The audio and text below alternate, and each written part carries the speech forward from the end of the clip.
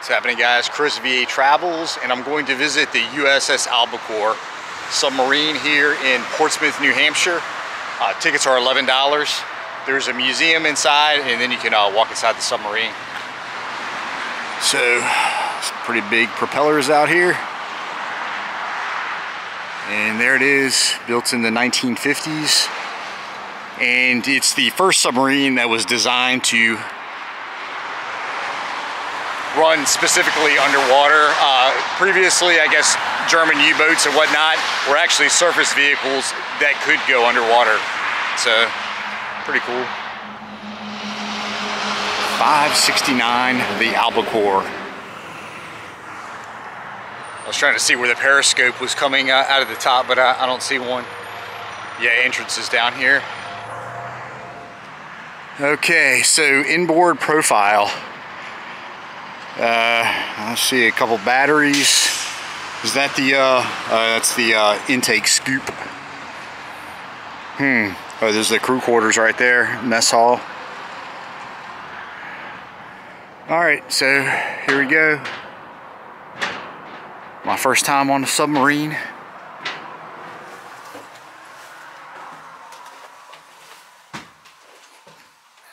All right, sleeping quarters right here inboard profile. And uh, yeah, I wouldn't, uh, I'd sleep feet first on that, on that end.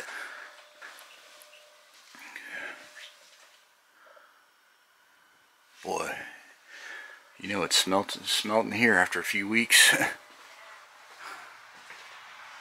um, escape trunk.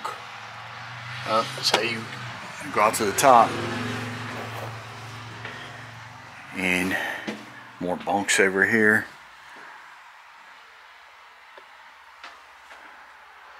I think I need to walk down there be kind of more of the same.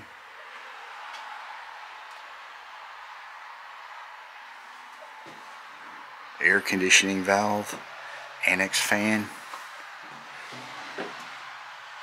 uh, passageway lights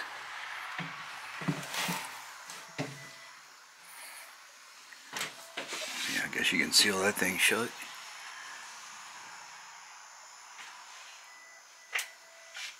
The wardroom pantry. A little sink here, and you're allowed to touch, so it doesn't open sugar, coffee. There's your fridge.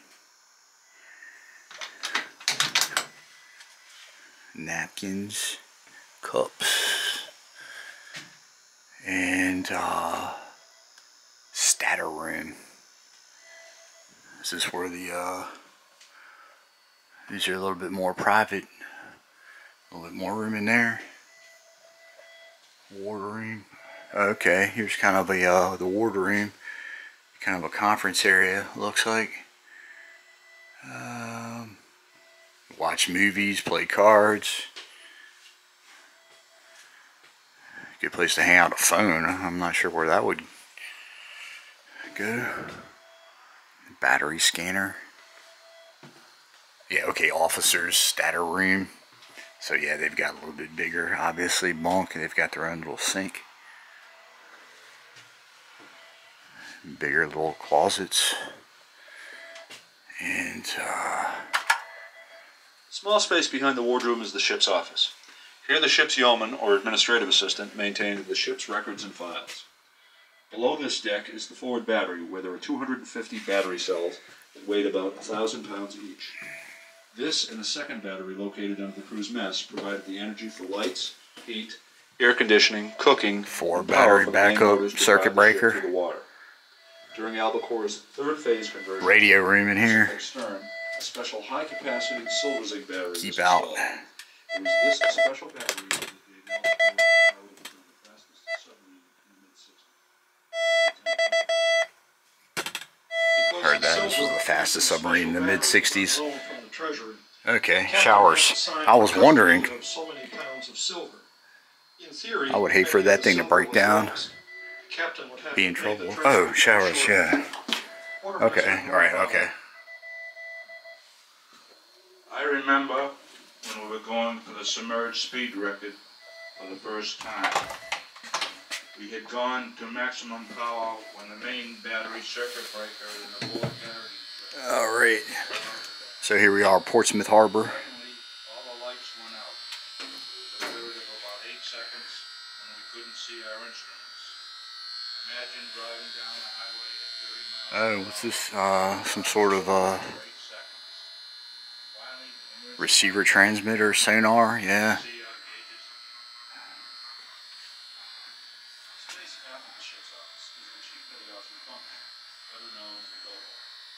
All kinds of fuses and switches. Okay, here's the uh, oh, here's the uh, periscope.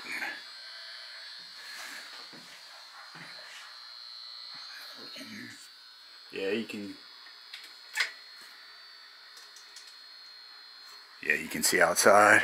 Oh, all right. So yeah, you can communicate back with the other room. It looks like.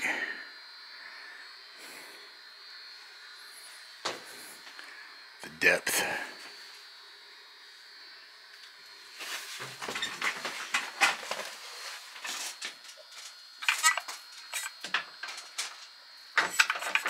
Driving procedure, credit warrant officers, crew.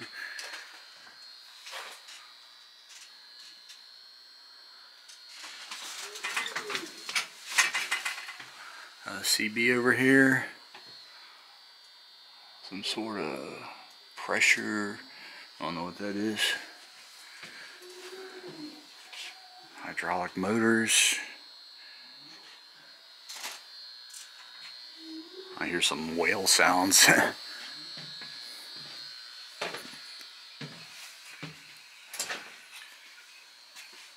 Over here, a gyro compass.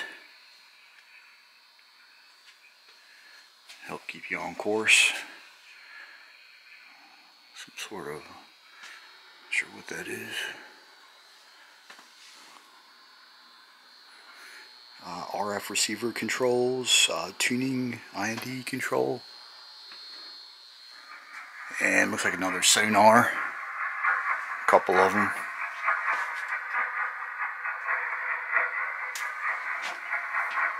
That's probably what it sounded like when it was underwater. Saltwater depth to keel.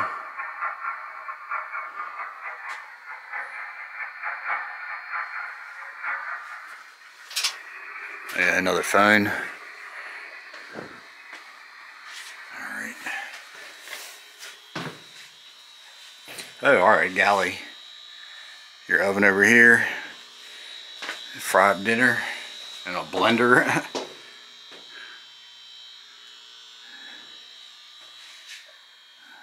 okay. Scullery. Okay, so play some uh, backgammon, some checkers.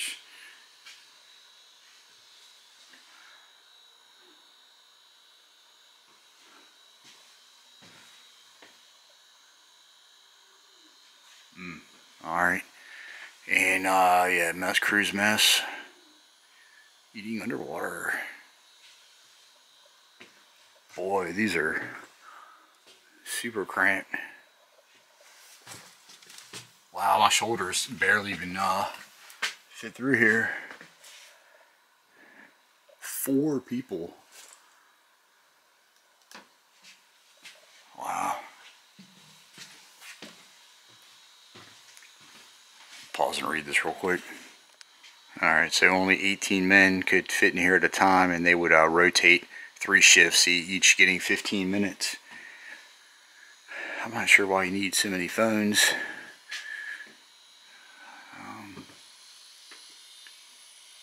All right, another sink. And yeah, okay, another bathroom. And another shower. Kind of a mirror right there. Not sure what that, uh...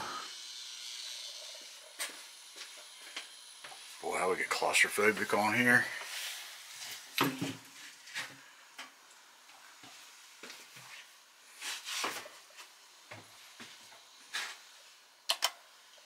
On both sides are sound isolated rooms for the diesel engines. Uh, and diesel These engines back here. turn generators that produce the electricity to drive the main motors, charge the storage batteries, This and must provide service power for lights, hot water, cooking, and other housekeeping functions. These lightweight aluminum engines had a history of frequent breakdowns. Uh, one purify consideration for retiring Albacore was the cost of either installing new engines or starting up a long dormant production line to make additional repair parts. Above your head, between the two engine Oh, uh, another one. Yeah, two engines. After escape trunk. This trunk served the same purpose and functioned the same way as the one in the bow compartment. Located just after the escape trunk is an area known as maneuvering, at its center is the propulsion cubicle. The cubicle was the watch After station escape of the trunk, main oh, power okay. electricians. It There was we here go. the Uh, my electricity camera from the won't. main Uh. generators or the battery was applied to the main motors. Lieutenant Hunter. I was in maneuvering during one of our deep There it dives when I heard a crackling sound and saw smoke come out of the cubicle. Electrician Tony Zimbar secured the power to the main motors and announced, fire in Uh, the if you want all the specs, there you go. Smoke go. stopped, so Tony then announced, fire's out. When Tony tried to restore power to the motors, nothing happened. He then notified control he was unable to answer any bells. Whatever burned in the cubicle had disabled the main motors. So here we were at test depth and slowing down with no way to propel ourselves to the surface. It was a couple of heartbeats later when I felt and heard the emergency blow system activated and we started on our way up to the surface. Okay, so these are two compression desaltation units. They would create un, uh, up to 600 gallons of uh, fresh water.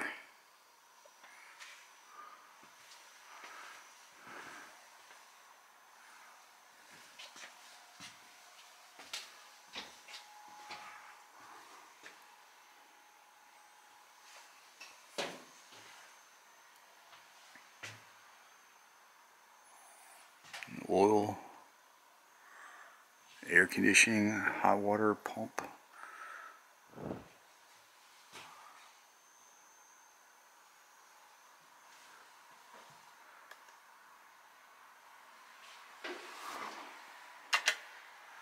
Quartermaster Norman Barber. After the thresher was lost, the Navy developed a more effective system for blowing ballast tanks. We were the first to try out the improved system. Our first test was from Okay, 100 reach the end here. at a dead stop. The boat rose rapidly to the surface. The second test was to be from 500, but the captain decided to do one from 300 instead. When the boat began, the boat immediately took a huge angle to starboard, and we stayed that way until we reached the surface. Engineers Alright, so the propeller, I guess, going up to the engine. Okay.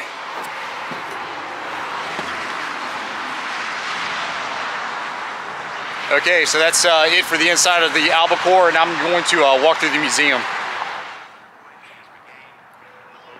Actually, before going to the museum, I'll take a look at this thing. Some sort of hovercraft type, uh,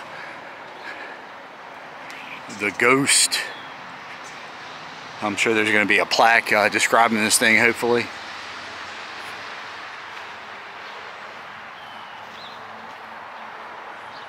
Uh, this is the back, I think. Or, I don't know, it's got propellers up on this end.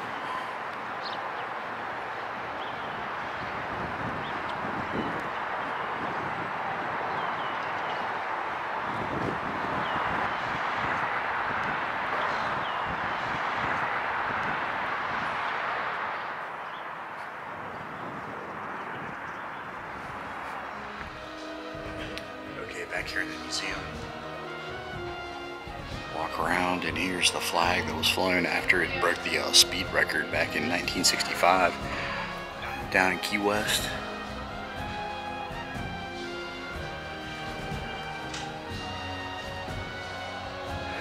Over here, the USS Dolphin. Oh, here's a pretty good diorama. There's right there the Albacore. And there's a real albacore, not real, but there it is down in Cuba.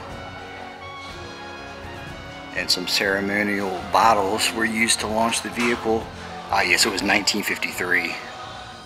It was launched. A tradition that goes back thousands of years. There's some workman's clothing. And this guy, local from Portsmouth, Peter DeBala. And kind of going through post World War II, Cold War.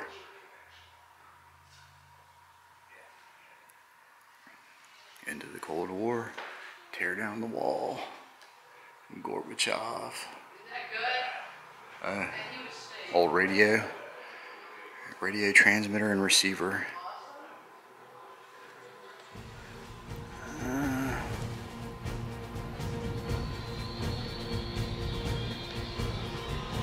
what is this thing? Battery cell. Hmm. Okay. The USS Virginia. Seawolf. Ah, the George Washington and the Lafayette. One after Ethan Allen. And looks like some items off there. Cigarette lighters.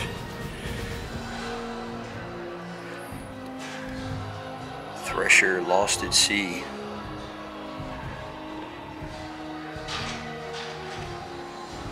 Pretty good drawing.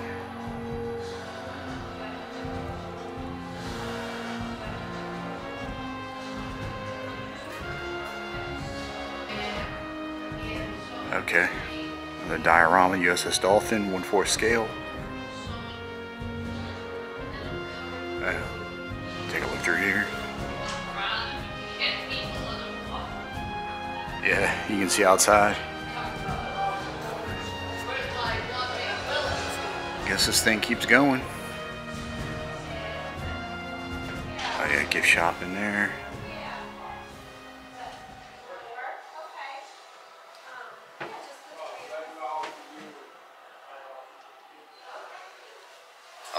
One last thing to see outside. Okay, a couple more things uh, out here to look at. The uh, Memorial Garden. And I'm seeing a dolphin back here. A rescue buoy.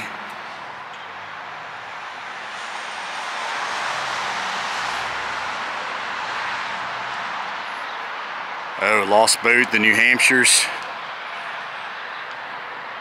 Still on patrol. Um, Squalus. Oh yeah, looks like that thing was lost off the coast here, Portsmouth.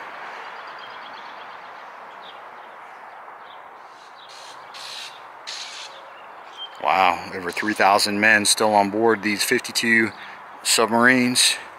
There they are, albacore at the top.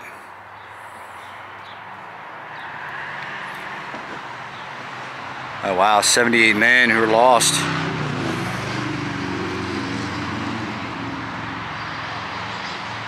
And there's that thresher head inside. 129 gallant men. April 10th, 1963, off New England's continental shelf.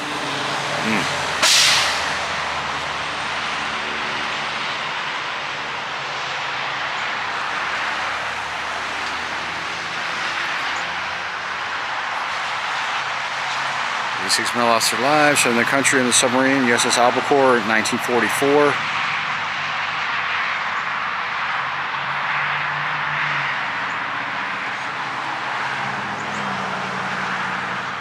Okay, reached the end of the line in recognition of the dedicated craftsmen of Portsmouth Naval Yard who built and maintained the finest submarines in the world, the crews who sailed them. All right, pretty nice museum. Something definitely worth checking out if you find yourself in the area. As always, like and subscribe. See ya.